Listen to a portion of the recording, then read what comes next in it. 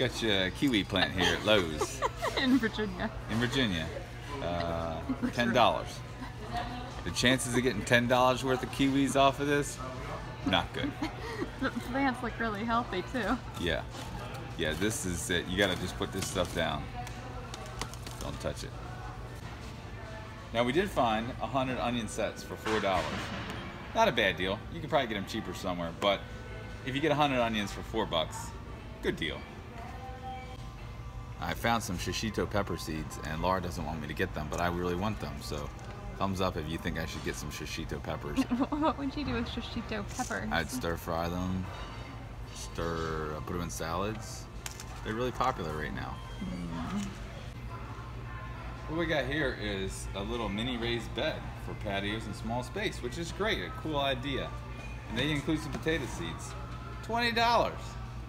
You could grow about four dollars worth of potatoes in here. I'll let you do the math.